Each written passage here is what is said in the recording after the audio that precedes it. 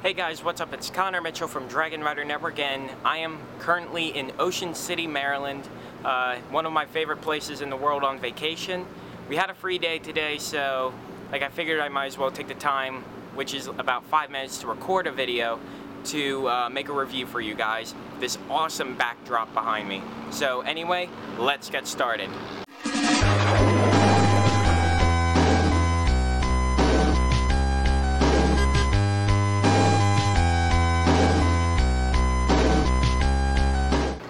So today I'm doing a review of an app called Slices. This is a new Twitter client that was released only a few days ago, which allows you to search mass groups of tweets, such as events or typically uh, news or technology genres. Say for example that the Olympics are going on this week, which in fact they are. You can actually go inside, look at events that are currently going on, and the Olympics will be one of them.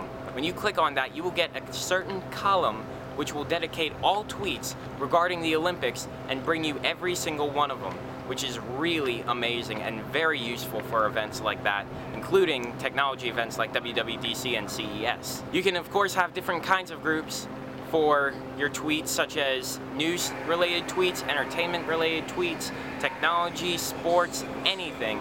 And since you're getting all these tweets, of course it will have support for trending topics on Twitter. That, of course, is a very big feature on Twitter, and of course, as many Twitter clients are trying to incorporate that as often as they can. One of my favorite parts that about this app is that when you have options to share a tweet, and you have many, many options to do that, they actually give you an option to share it on Facebook.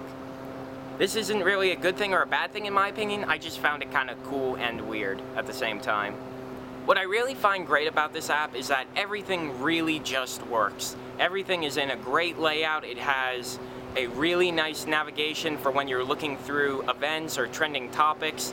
You can organize your columns in a really nice way and it really just has a really good looking interface and it really works for the Twitter client. So that is a two-punch uh, success for this Twitter app. However, like all great things, there is only one downside to this app, the app constantly has ads that pop up. Not video ads, but just little banners in the bottom. The fact that it's a free app, of course you're going to get this, but me personally, I find it a little bit of an annoyance, but not enough of an annoyance to stop using this app. Overall though, I really love this app.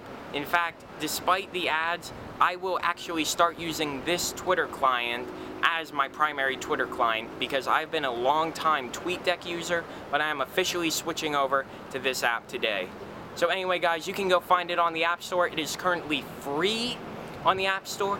You can go look for it yourselves and download it yourself and see what you think. So anyway guys, be sure to subscribe to the channel for more tech content like this. Follow me on Twitter, Facebook, and be sure to check out the website, dragonridernetwork.com.